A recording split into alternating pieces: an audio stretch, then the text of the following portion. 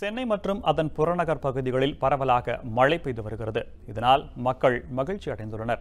கடந்த சில வாரங்களாக கடும் பனிப்பொழிவு நிலவி வந்த நிலையில் வங்கக்கடலில் உருவாகியுள்ள குறைந்த காற்றழுத்த தாழ்வு நிலை காரணமாக நேற்று மாலை முதல் சென்னையில் பரவலாக மழை பெய்யத் தொடங்கியது. ஈக்காட்டுத்தாங்கல் கிண்டி தியாகராய நகர் உள்ளிட்ட பகுதிகளில் நல்ல மழை பெய்ததால் அப்பகுதி மக்கள் மகிழ்ச்சி அடைந்துள்ளனர். இதேபோல் கடலூர் பெரம்பலூர் அரியலூர் திண்டுக்கல் உள்ளிட்ட மாவட்டங்களில் அதிகாலை முதல் மிதமான மழை பெய்து வருகிறது. அடுத்த நான்கு நாட்களுக்கு மழைக்கு வாய்ப்பிருப்பதாகவும் தெரிவிக்கப்பட்டுள்ளது.